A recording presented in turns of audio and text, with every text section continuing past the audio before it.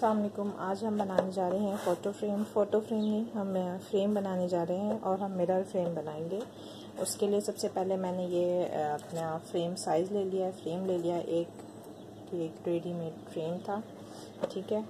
और इसके बाद जो चीज़ हमें चाहिए होगी, वो हमें चाहिए होगी शीट मेटल शीट से हम बना रहे हैं। हम इसकी जो डिज़ाइनिंग करेंगे, जो तो वो हम मेटल शीट से करने वाले हैं। हम सबसे पहले इस फ्रेम के साइज़ की मेटल शीट कट कर लेंगे हम इस पर रख के देखते हैं। ये मैंने शीट पहले से कट करके रखी है और इसको हमने फ्रेम से टू इंच एक्स्ट्रा लिया है, ताकि हमें फोल्ड करने में आसानी हो। अब हम क्या करेंगे? हम इस फ्रेम को शीट के सेंटर में रखेंगे और इसके जो चारों साइड के किनारे हैं, उसको मार्क कर लेंगे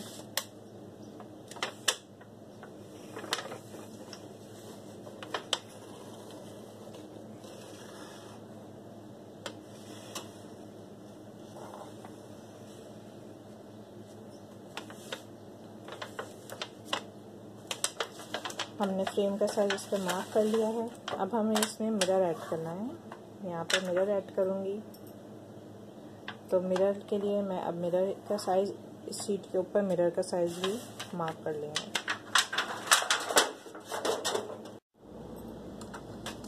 ये मिरर साइज़ है मेरा। अब इसके ऊपर हम इसको सेंटर में सही से इसका साइज़ देखेंगे कि सेंटर कहाँ पर आ रहा है। अब हम क्या करेंगे? मार्क कर लेंगे।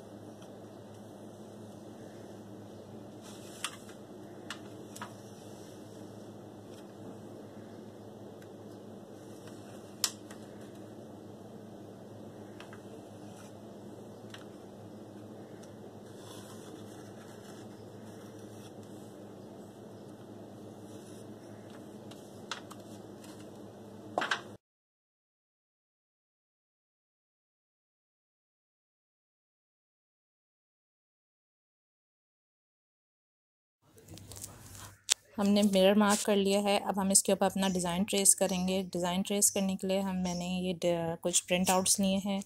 इसको मैं अपने हिसाब से सेंटर में रख हूँ। अगर आप चाहें तो इसको फ्री हैंड भी स्केच कर सकते हैं। मेरे पास ये डिज़ाइन था तो मैंने इसको ट्रेस करना मुझे लगा कि मैं इसको करना चाहती हूँ।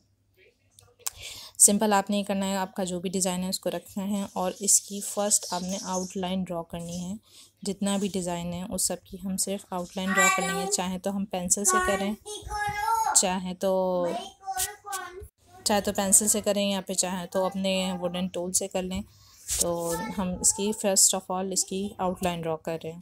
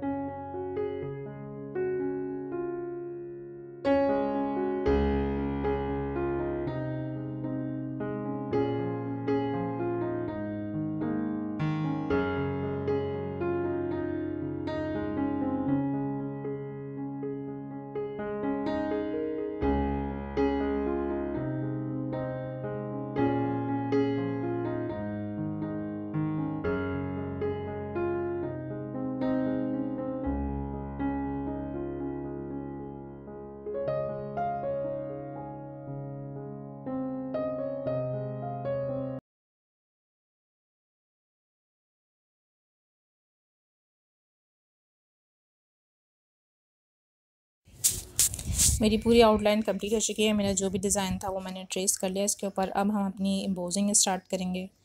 एम्बोजिंग स्टार्ट करने के लिए मैं इसको एक फोमिक शीट के ऊपर अपने बोर्ड पे रख रही हूँ। नीचे मैंने फोमिक शीट रखी है। उसके बाद हम जो भी डिज़ाइन है उसकी फ़र्स्ट आउटलाइन ड्रॉ करेंगे और उसके बाद उसको प्रेशर देकर नीचे की तरफ़ इसे एम्बोज करेंगे। हमने जिस तरफ़ आउटलाइन की है उसके अपोज़िट साइड पर हम अपना एम्बोजिंग स्टार्ट करेंगे। एम्बोजिंग नॉर्मली हम शीट पे रफ़ साइड को अपर रख अप रखते हैं ताकि थोड़ा सा एंटीक लुक आए और जो ज़्यादा शाइनी और जो राइट साइड होती है उसको बैक कर, पे रखते हैं। यानी उस, जो शाइनी साइड है उस तरफ़ से हम एम्बोज करते हैं।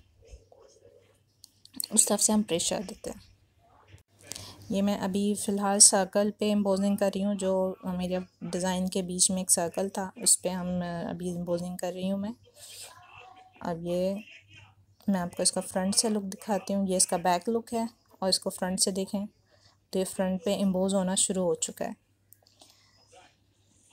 अब इसी तरह से हम पूरे डिज़ाइन को अपने एम्बोज कर लेंगे।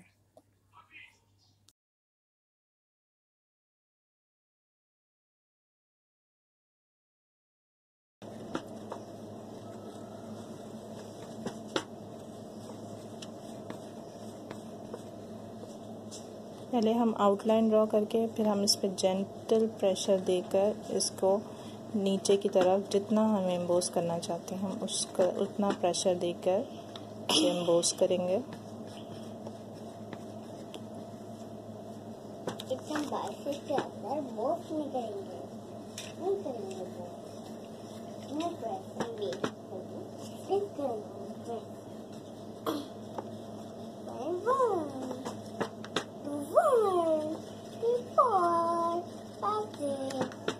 अब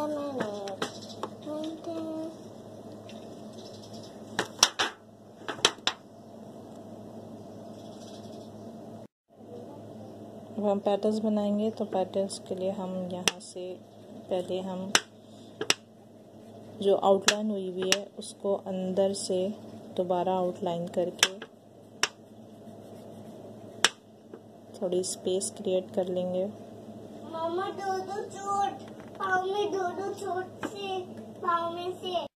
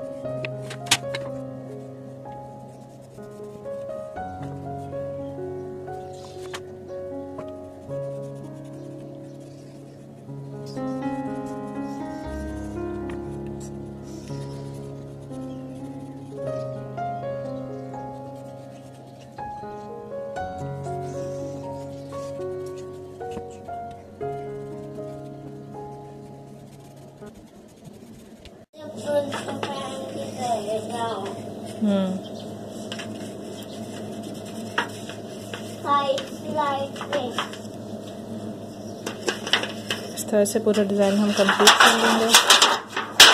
हम इसे फ्रंट से देखते हैं। ये अच्छे से एम्बोज हो चुका है। ठीक है। ये वो डिज़ाइन है जिस पे अभी हमने एम्बोजिंग नहीं करी है और ये वो है जिस पे हमने एम्बोज कर लिया दोनों का डिफरेंस देखें हम। अब हम क्या करेंगे? फ्रंट से भी इसको इम्पोज बैक करेंगे।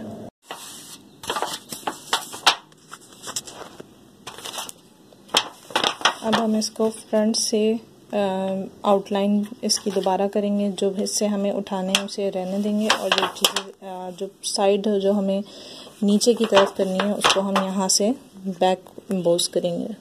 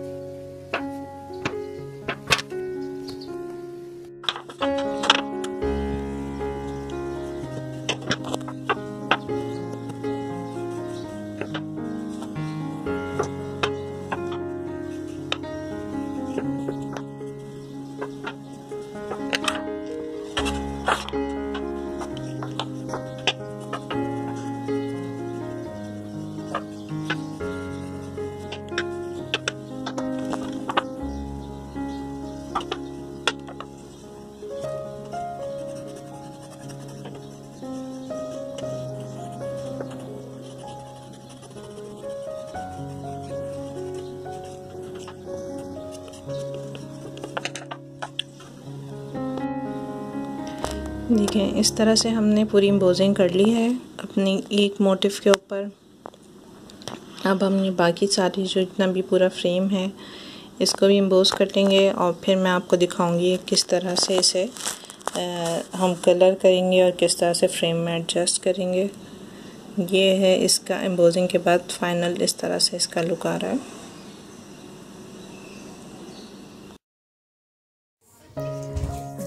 पूरी फ्रेम में जितना भी मेरा डिज़ाइन था, मैंने एम्बोजिंग कंप्लीट कर ली है। ये पूरे मेरे डिज़ाइन की एम्बोजिंग है। इसका लुक आप देख सकते हैं एम्बोज के बाद किस तरह से आ रहा है।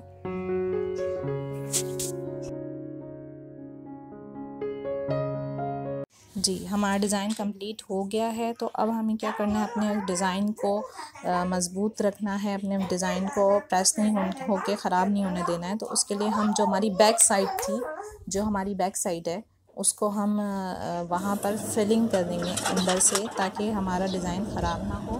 तो हमने ग्लू गन ली है ग्लू गन से हम सारे डिज़ाइन को कवर कर देंगे फ्रॉम इनसाइड फिल कर देंगे। इनसाइड से फिल कर देंगे, जितना भी डिज़ाइन है, उसको नीटली सिलिकॉन स्टिक से फिल कर देंगे ताकि हमारा डिज़ाइन जो है वो किसी भी तरह के प्रेशर देने के ऊपर अंदर ना जाए। तो जहाँ पे डिज़ाइन गैप्स हैं, वहाँ पे सारा हम सिलिकॉन स्टिक से अपने डिज़ाइन को फिल कर देंगे। देखिए, इस तरह से हमने अपना पूरा डिज़ाइन कवर कर देना है। Sorry guys sorry for the disturbance बच्चों की छुट्टी है, कोरोना का जो भी मतलब जो भी इशू है वायरल का इशू है तो इसकी वजह से बच्चे जो ना घर पर हैं, मेरा बेटा, और वो काफ़ी डिस्टर्बेंस क्रिएट कर रहा है तो थोड़ी सी उसको नॉइज़ बर्दाश्त करनी पड़ेगी ये थी मेरी आज का इतना पार्ट है। इस वीडियो का पार्ट इतना है। अब फिर हम नेक्स्ट वीडियो के अंदर इसको किस तरह से फ्रेम में एडजस्ट करना है और किस तरह से इस पर पेंट करना है या नहीं पेंट करना चाहते तो आप ना करें तो वो हम नेक्स्ट वीडियो में इसके नेक्स्ट पार्ट में डिस्कस करेंगे कि हमारा फ़ोटो फ्रेम किस तरह से या अगर फ़ोटो बैग्स बेसिकली सॉरी मैं तो मिरर फ्रेम बना रही हूँ तो अगर हम नहीं चाहें मिरर लगाना तो हम मिरर की जगह फ़ोटो भी लगा सकते हैं। तो इस तरह से हम अपना फ्रेम कंप्लीट करके फिर हम आपको नेक्स्ट वीडियो में बाकी की इसका पार्ट दिखाएँगे। अब तक के लिए अल्लाह हाफिज़। तो नेक्स्ट वीडियो में आपसे मिलते हैं। Make sure to thumbs up and subscribe my channel अल्लाह हाफिज़।